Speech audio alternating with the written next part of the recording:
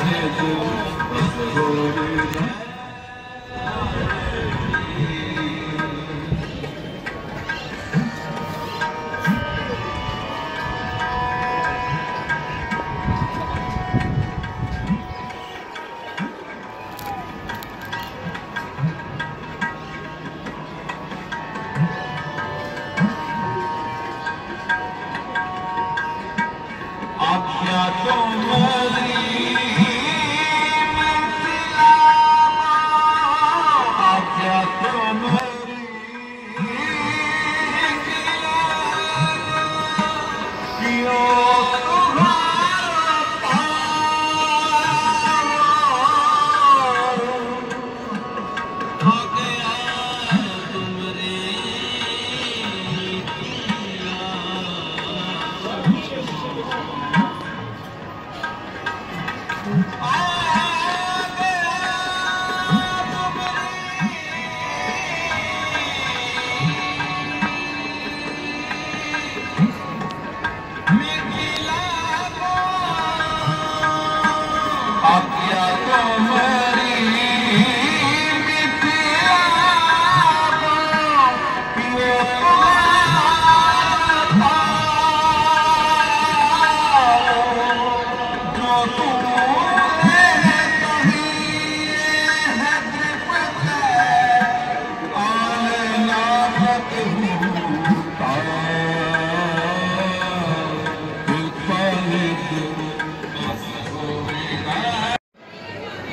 ਇਹ ਅਕਾਲ ਹੈ ਈਸ਼ਵਰ, ਤੇਰੀ ਬਣਾਈ ਹੋਈ ਜਨਤਾ ਦਾ, ਉਹਨਾਂ ਦਾ ਕਿਸ ਕਾਲ ਲੋਕਾਂ ਦਾ।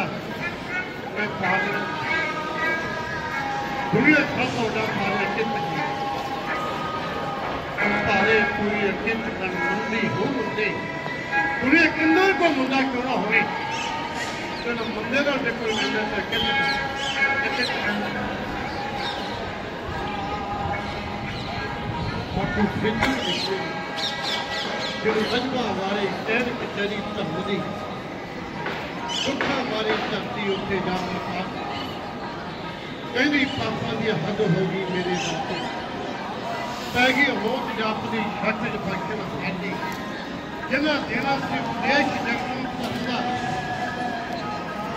ਕੱਟੀ ਦੇ ਬੁਲਾਉਂਦੇ ਰਹਿੰਦੇ। ਪਲੋ ਪਰਜਾ ਖਾਨ ਦੀ ਨੀਤੀ ਬਣ ਗਈ ਹੈ ਸਰਕਾਰ ਦੀ। ਨੋਟ ਦੀ ਢਾਲਾਂ ਦੀ ਛਾਂ ਕਰਦਾ ਕੋਈ ਗਰੀਬ ਨਹੀਂ। ਵੀ ਰੱਖ ਪਿਆਰ ਦੂਜੇ ਨਾਲ ਜੋੜੇ ਦੀ ਤਲਵਾਰ ਦੀ ਆ ਪ੍ਰਭ ਰਚਨ ਹਾਰ